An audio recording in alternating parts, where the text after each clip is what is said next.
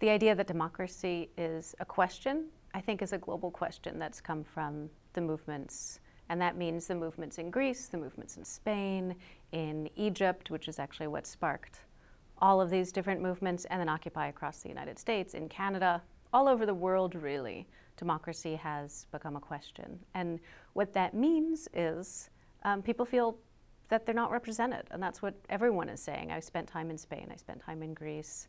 Um, throughout the world, people are saying we don't feel represented by these systems that allegedly represent us.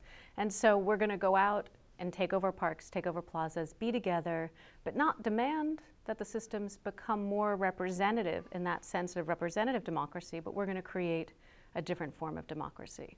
And that's where in the US we have the 99% as a kind of slogan, which can be criticized and, and should be in different ways, but the idea that we we are a majority. We kind of democracy should be that the people decide, and that would be the 99%. And in Spain, their slogan is Democracia Real Ya, which is real democracy. And that's face to face, being together, making decisions, and having those decisions mean something.